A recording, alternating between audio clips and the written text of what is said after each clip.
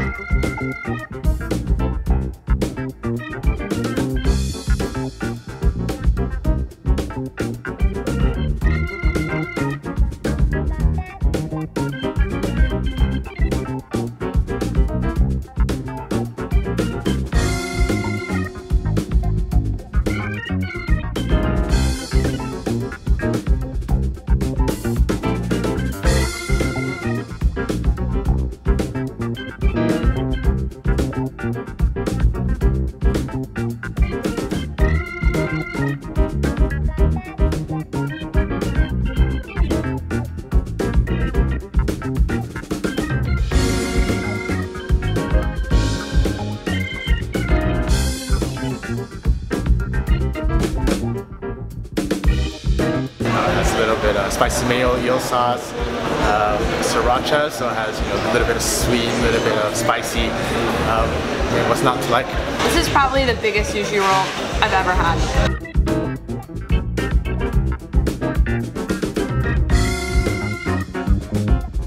The monkey brain was made by one of our head sushi chefs uh, way back in the early days of Wokcano. After just putting the dish together, the first thing that came to his mind was uh, monkey brain.